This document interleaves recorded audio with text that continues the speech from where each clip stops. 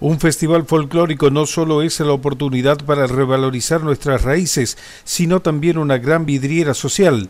El Festival de Trancas fue el elegido este fin de semana por el gobernador Juan Mansur y el vicegobernador Osvaldo Jaldo para mostrarse una vez más juntos, previo a la llegada de la celebración del 17 de octubre y con vistas a las elecciones 2019. Desde esta ciudad del norte de la provincia como es Tranca, hemos querido con el gobernador Juan Mansur, hemos querido acompañar a toda la gente de Tranca que se ha venido preparando durante mucho tiempo para llegar a esta instancia. Esta fiesta que tiene que ver con lo nuestro y tiene que ver con la cultura, la tradición, la historia y la verdad que con el gobernador hemos querido acompañarlo. Compartiendo esta verdadera fiesta.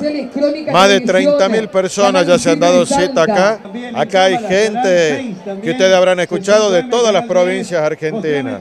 Gente que viene de muy lejos hoy para estar acá con nosotros. Y bueno, y esto hay que decirlo, son todos bienvenidos. Y estamos colaborando en todos los municipios, en todas las comunas rurales, para que esta fiesta de estas características la puedan realizar los señores intendentes y los señores comisionados comunales. Así que la verdad que estamos muy contentos en esta gran fiesta provincial del caballo, acompañando a todo el norte argentino.